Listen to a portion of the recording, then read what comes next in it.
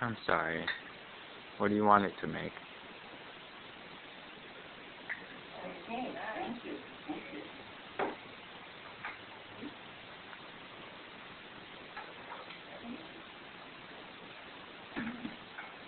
you.